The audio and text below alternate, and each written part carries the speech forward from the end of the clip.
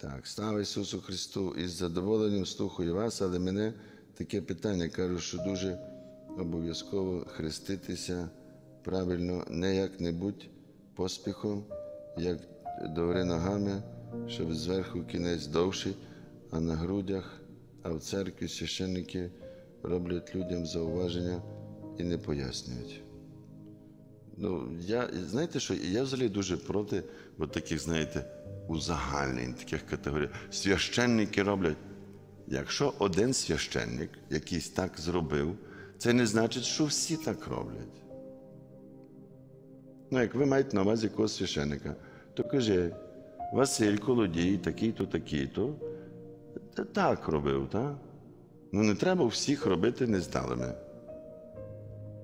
або всіх добрими. Не можуть бути всі святі, і не можуть бути всі прокляті, і не можуть бути всі добрі, і не можуть бути всі нездалі.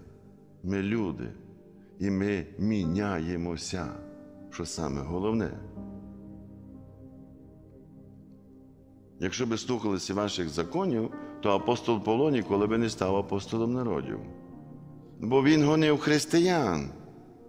Але що сталося? Він покаявся, він навернувся і став апостолом народів. А Юда сидів коло Ісуса Христа, ходив з ним, їв з ним з одної миски, ділився одним куском хліба. Юда був разом з ним. І що? І що?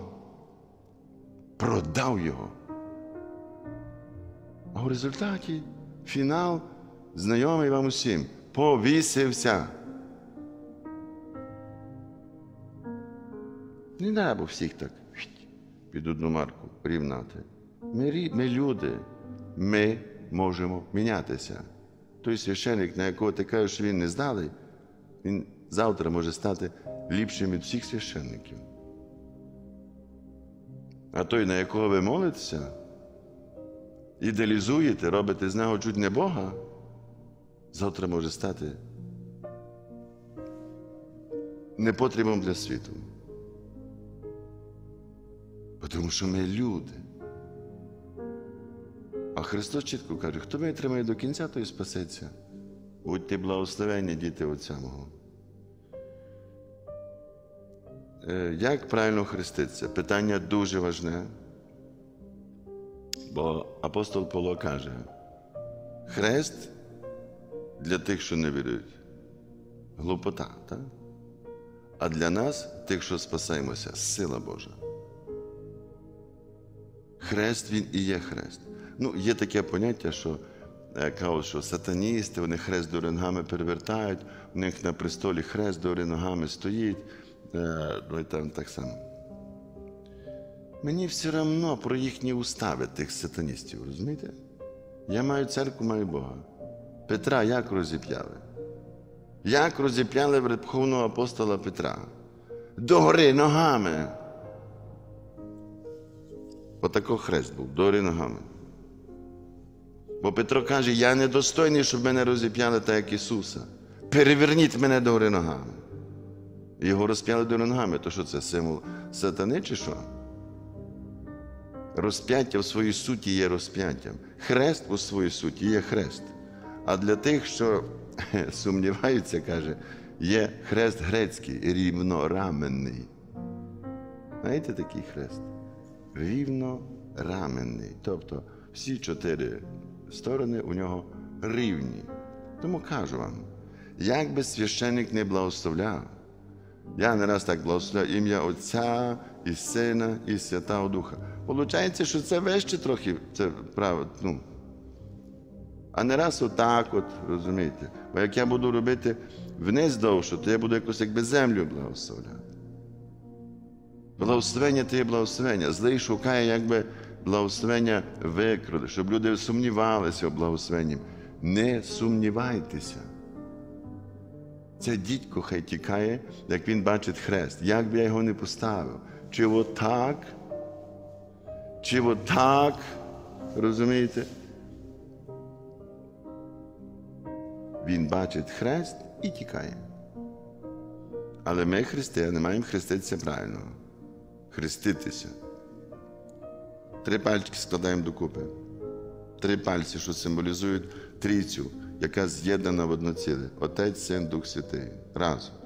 Два пальчики притискаємо до долоні, що означають подвійну природу Ісуса Христа, Божу і людську. Притискаємо до долоні. І так от склали три пальчики, хрестимося. Ім'я Отця і Сина, а тут уважно, і Святого Духа. Бачите? Святого Духа на однім плечі Святого Духа. Амінь. Тобто Отець, Син, Святий Дух. Святий Дух між Отцем і Сином.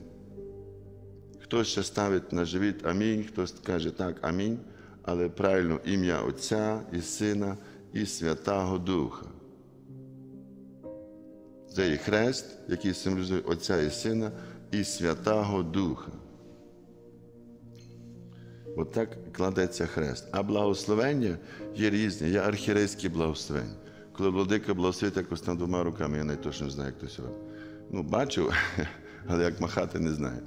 Священники, які благословляють, Христом благословляють, іконою благословляють, Євангелієм благословляють. Тобто, е, благословення священника, оце той, що ви бачите, видимий знак, але це є видимий знак невидимої Божої ласки. Священник махає рукою, як він не махав, божественна благодать, все ісполняюча і доповняюча, я, благословляє і діє через священника. Діє на тих, котрі можуть його сприймати. Як Бог для всіх нас є одинаковий, так? От Божа благодать сходить на всіх нас однаково. Люди, а люди різні. Той кращий прийняв, той гірший.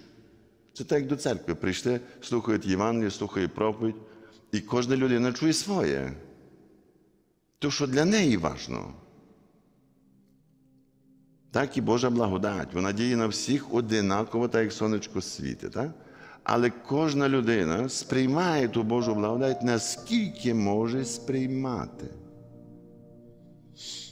Сьогодні менше, завтра більше. Або навпаки, сьогодні багато, завтра менше, післязавтра ще менше, а післязавтра взагалі не сприймає. Бо ми люди. І тому Божу благодать ми сприймаємо повноту її наскільки, наскільки можемо її сприймати. Тому відкрийтеся для Бога. Пустіть його Бога в своє серце. Майте віру, плекайте в собі віру. І тоді будете бачити, як хрест, як він працює, і котрий хрест сильніший, котрий рівнораменний, чи, чи довший кінець вище, е, або наоборот. Вірте в Бога і будете спасені.